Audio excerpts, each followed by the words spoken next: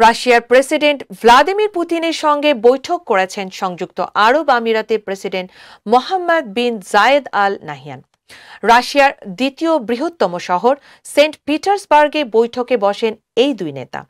শহরটিতে অনুষ্ঠিত Saint Petersburg International Economic ফোরামের সাইড লাইনে বৈঠকে কথা বলেন তারা। রাশিয়া ও আমিরাতের মধ্যে কীভাবে সম্পর্ক আরও গভীর করা যায় তা নিয়েই আলোচনা হয় পুতিন ও আল নাহিয়ানের মধ্যে। ইউক্রেন যুদ্ধ বন্ধের সম্ভাব্য সহায়তার কথাও বলেন আমিরাতের প্রেসিডেন্ট। বলেন, পরিস্থিতিকে আরও স্থিতিশীল করতে এবং মানবিক দৃষ্টিকোণ থেকে যে কোনো ধরনের ভূমিকা গ্রহণে প্রস্তুত রয়েছে আরব আমিরাত।